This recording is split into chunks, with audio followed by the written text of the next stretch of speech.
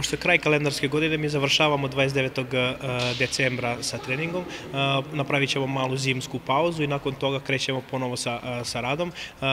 Januar nemamo nikakva takmičenja i februar, ali smo, ćemo ih iskoristiti za pripreme da bi u martu nastupili na, na prestojeća takmičenja. Pre svega najbitnije su nam prvenstvo za poletarce pionire i nade i kup za poletarce i pionire i nade.